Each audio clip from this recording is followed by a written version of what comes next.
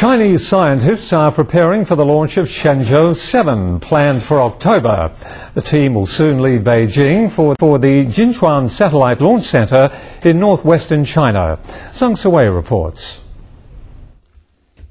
Following a flag-raising ceremony at the Beijing Space Flight Center on Tuesday morning, the Shenzhou spacecraft team once again rallied for a pledge resolution before going on a trip to make launch preparations. The launch of the Shenzhou 7 spacecraft is planned for some time in October in northwestern China's Jiuquan Satellite Launch Center. The most eye-catching maneuver is that astronauts will conduct a spacewalk. Engineers have developed airlock module to go with the aircraft. Although details of how astronauts will walk out of the module have not been made public yet, experts reveal that dozens of contingency plans have been designed to ensure smooth walk.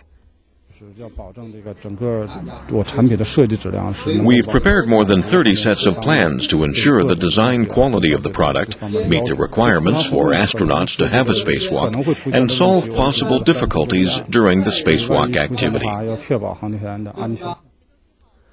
The Shenzhou 7 mission will be the flight in China's second phase of its manned space program. Scientists plan to establish a space station as their next step. Zheng Sui, CCTV.